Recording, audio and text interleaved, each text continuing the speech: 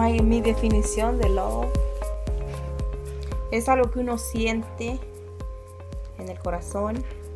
Por ejemplo, mis hijas, yo las amo. Algo les pasa a ellas, yo siento. Eso significa amor. Todo lo que a ellas les pase, les suceda, a mí me duele. Y yo me imagino que eso es amor.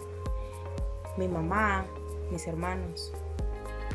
Cuando algo les sucede a ellos, eso es, eso es el amor que yo siento. Para mí eso es el amor.